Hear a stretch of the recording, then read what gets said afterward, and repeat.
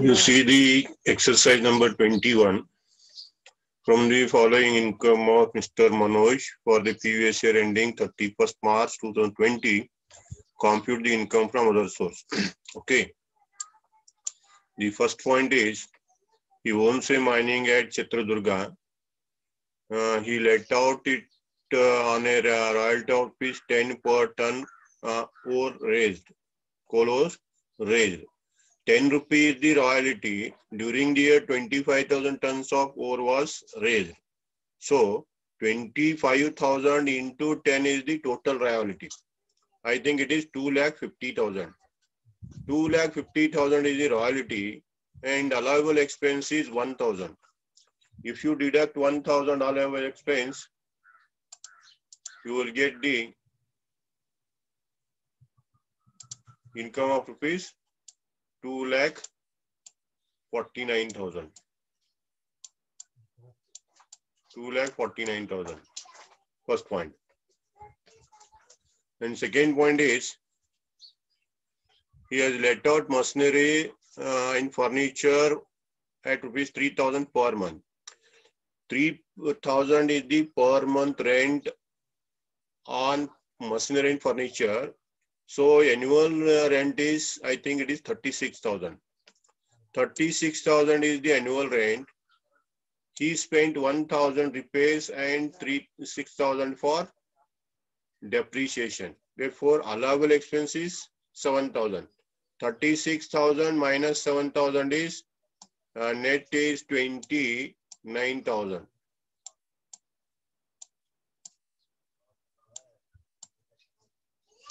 29,000 is the second point income. And he owns a plot of land at Ballari, which is let out for fees 1,200 per month. This is the direct one. 1,200 per month is rent and annual rent is 14,400. 14,400. He also owns an agriculture land in Pakistan for which he received income of which 29,000. Agriculture land is situated outside India. Therefore, it is taxable. 29,000. 29,000 is the taxable income. Then he lives in a rented house paying a rent of rupees 4,000. 4,000 per month rent is paid to the landlord and the house is subletted. He sublet the 50%. 50% means half. Half of the house is sublet at the rent of rupees 3000. Okay. 3000 is the per month rent. So annual rent is 36,000. I think it is 36,000 is the rent received on subletting. 36,000 is the rent received on subletting. Then 4,000 is the rent paid to landlord. So 4,000 into 12, 48,000. 50% of that is 24,000. 4,000 into 12 into 50%. That is 24,000. And uh, 1,000 is the municipal tax. 50% of this is 500. And 1,000 is the repairs. 1000 is repairs and 1000 municipal tax. So 500 is the portion of sublet out relating to municipal tax. 500 is the portion relating to repairs, relating to let out. So 24,000 is the rent paid to landlord portion. Plus 500, 500, 25,000 is the total deduction. So if you deduct 25,000, 11,000 is the answer from this uh, E point. 11,000 is income from subletting. Then he received 70,000. He received 70,000 means it is the net one. It is the net amount. Therefore, 70,000 into 100 by 70 you have to take. It is received there. So this value of value of this is 1 lakh. Value of this is 1 lakh. Okay, 1 lakh is the value. Then he received a dividend of 10,000 from a company situated in England. So dividend from England company is a foreign company. So it is taxable. So dividend from foreign company is 10,000. 10,000. Okay. Next here is invested. The word is invested. Invested 30,000 in Chennai Port Trust Fund. So 30,000 into 8%. If you calculate 30,000 into 8%, I think it is 2,400. 2,400. Then next investment, investment 72,000. 72,000 is the investment, 10% is the rate of interest. So 7,200 is the interest, but it is tax free. It is tax free, therefore you have to gross up. That is 100 by 90. Therefore its value is 72,000 into 10 by 90. I think it is 8,000. Okay. If you take the total of these values, you will get the income from other source. The total of this is called as income from other source.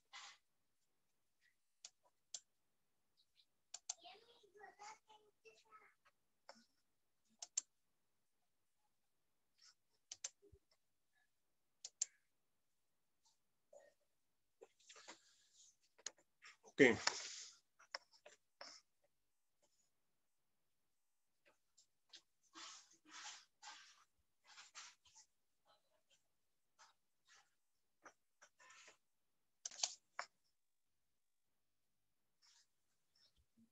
Okay, you see the solution. First point royalty received 25,000 into 10, 2 lakh 50,000. Less allowable expense 1,000. Balance is 1 lakh 2 lakh 49,000. Next is machinery and uh, furniture rent 3,000 into 12, 36,000. Less allowable expenses. Repairs 1,000. Depreciation 6,000 Total is 7,000 you deduct. Balance is 29,000. Third point, rent on open plot. 1,200 into 12. It is 14,400. Next fourth point, income from agriculture in Pakistan. 29,000 rupees. Okay. 29,000 is the uh, agriculture income in Pakistan. Next is rent from subletting. 3000 is the per month, per month rent. 36,000 is total. Less allowable expenses. Rent paid to landlord. 4,000 into 12 into half. 24,000. and repairs is 1000 into half 500 municipal tax 1000 into half 500 if you deduct this Total 25,000. Balance is 11,000. Next is winning from lottery 70,000 is there. This is received amount. Therefore, you gross off, its, its value will be 1 lakh. Then dividend from foreign companies taxable 10,000. Interest on Chennai.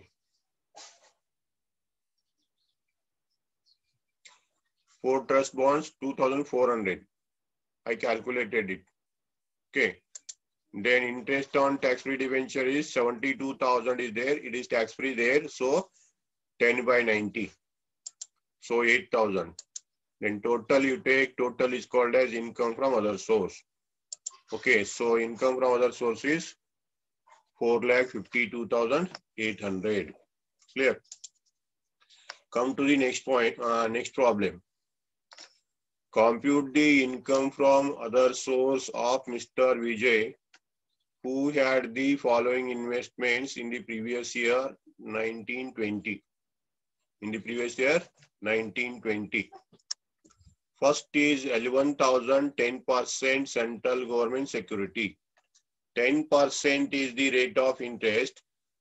Investment value. You have to see the value carefully the value given is investment. Okay, investment. So L1000 into 10% is 1100. Okay, 1100. And next is 36,000. 10% is there. 36,000 into 10%, 3,600. But it is tax free. It is tax free. Therefore, you have to gross off 100 by 90. Therefore, you take this as 36,000 into 10 divided by 90. His answer is 4,000.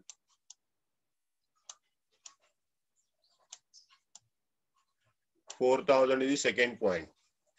Third point is seven thousand two hundred is there, but it is received word is there. Interest received. Seven thousand two hundred received as interest, not investment. First two are investments. 7,200 interest received, tax free is there, public limited company is there. Therefore, 7,200 it is received is there, it is net. Therefore, you gross up. If you gross up this, its value is 8,000. Its value is 8,000.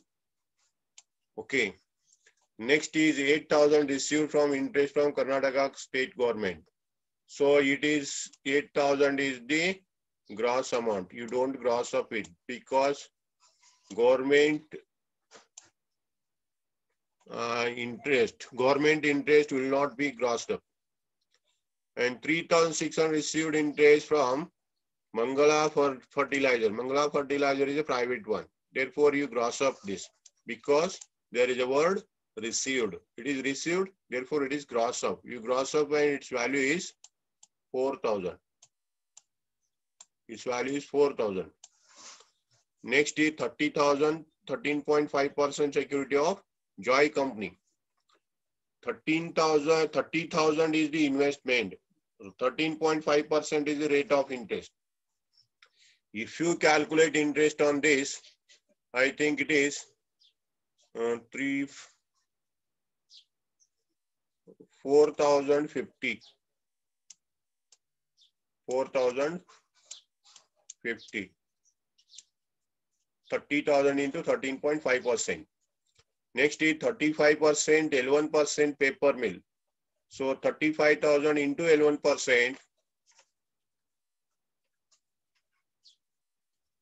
3,850. 3,850. Okay.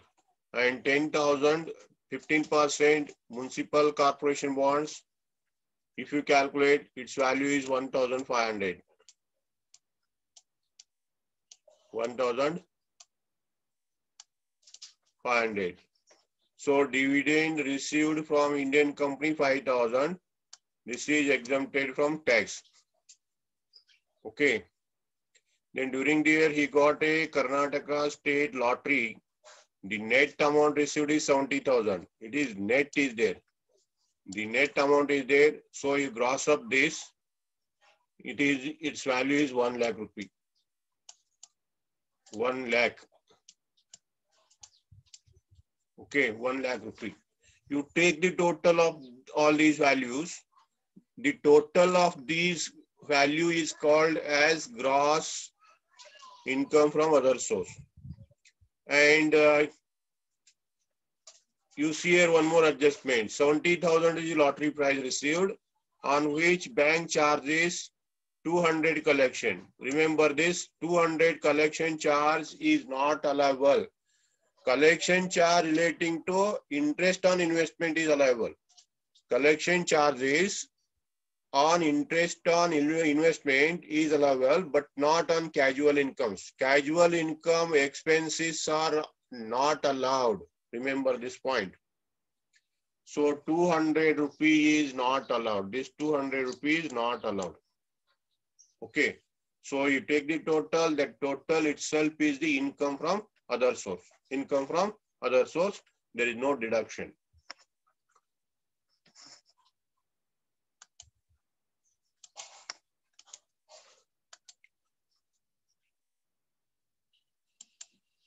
You see the next question, example number 23. From the following uh, particulars of Sri Praveen, a member of parliament, compute his income from other source. Okay, he is a member of parliament. You are asked to calculate income from other source. The first point is salary received as a member of parliament, 30,000 per month. So 30,000 is the salary per month. Then annual salary is 30,000 into 12. This is 36,000. First point is 3 lakh 60,000, not 36,000.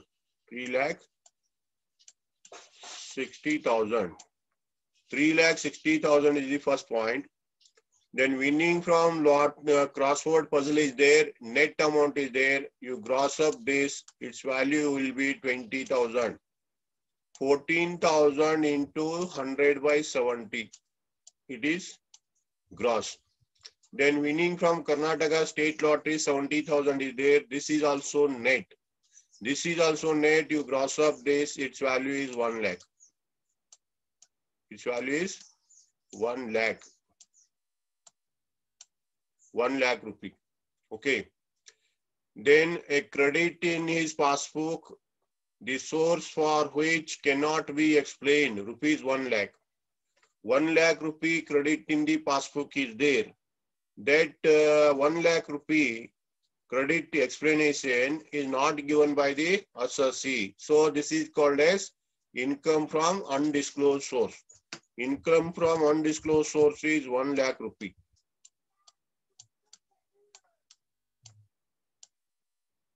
1 lakh rupee. Then gift from friend is there 49,000. This is exempted from tax because it is less than 50,000. Okay, 50,000. This point will not come. Then interest on post office national savings certificate 12 years is there. This is also exempt from tax. Okay. Then received rent received on letting the building along with plant is 50,000. Okay. 50,000 is the gross rent. In the gross rent, allowable depreciation 1,200, machinery insurance 1,000, repairs 4,000. Totally you deduct 6,200. You deduct 6,200. You deduct 6,200. Then remaining income is uh, 43,800. 43,800 is the income from subletting, income from letting the building with plant and machinery. Okay. Royalty received on article in the uh, special journal 42,000 is there. This 42,000 is taxable. 42,000. Okay, 42,000 is H point. Then 50,000, 10% debentures of Reliance Limited. If you calculate 10% on this, its value is 5,000. Interest is 5,000. Okay. 9,000 received interest is there. Interest received 9,000 is there. And this is tax free is also there. So if you gross this amount, its value is 10,000. Its value is 10,000. Okay. Then you take the total of all these value, the total of all the amount is called as income from other source. Income from other source. Clear?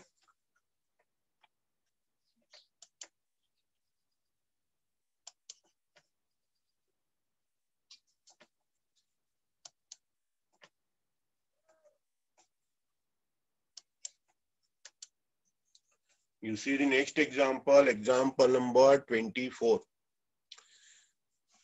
Example number 24. From the following information furnished by Mr. Augustine. Augustine, compute his income from other, source for the previous uh, assessment year 2021. Okay. You see the first point. The first point is dividend from Indian company. This is exempted from tax. First point is exempted. Second is income from writing articles in magazine 4000. So this 4000 is taxable. Second point 4000. Okay. Third point, he is uh, living in a rented house, paying a rent of 6000 to landlord. Rent paid to landlord is 6000 per month. And the house is too big. Uh, house is too big. He has sublet one third portion. Okay, one third portion at a rent of is 3000. 3000 is the rent per month. So 36,000 is the gross rent per year. Gross rent received 36,000 per year. And uh, allowable expenses are one is rent paid to landlord. 6,000 into 12 into 1 by 3, I think 24,000. 24,000 is the rent paid to landlord portion. Okay, landlord, rent paid to landlord portion is 24,000. And uh, municipal tax 1,500 is there. One third of this is 500. Municipal tax is 500. The next is repays 2,700 is there. 2,700 into 1 by 3. That is uh, 900. Okay. So 24 plus uh, 9, uh, 24,000 plus 500 plus 900. I think 25,400. If you deduct 25,400, your answer is uh, 10,600. You check this, 10,600 is the rent received on subletting. Okay. Next, he received rupees 10,000 interest on term deposit. Interest on term deposit, 10,000 is taxable.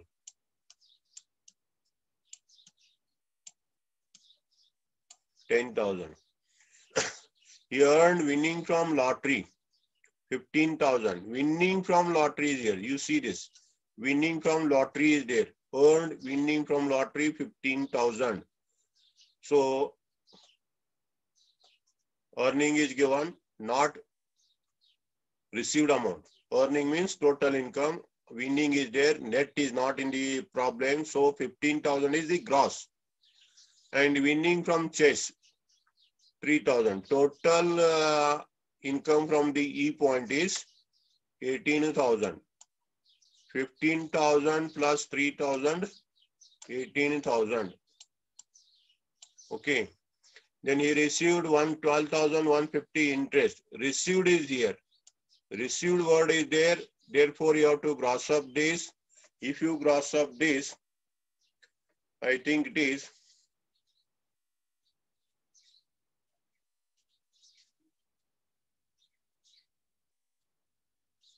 thirteen thousand five hundred.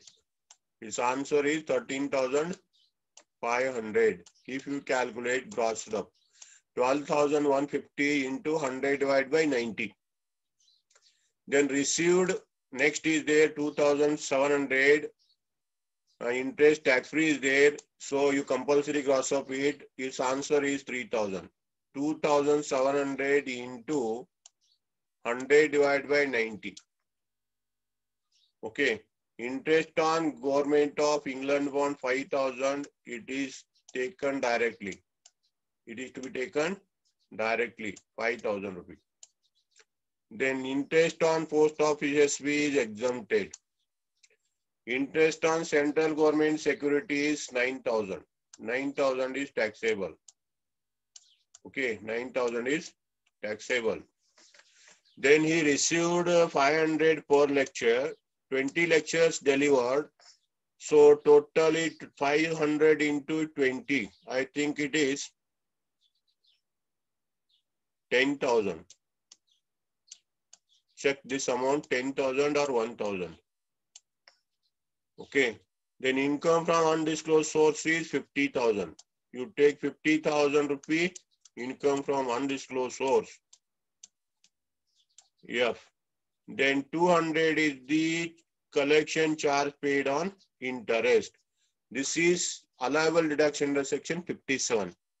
you take all the totals, then you deduct 200 rupee. If you deduct 200 rupee, whatever balance comes, that is the income from other source.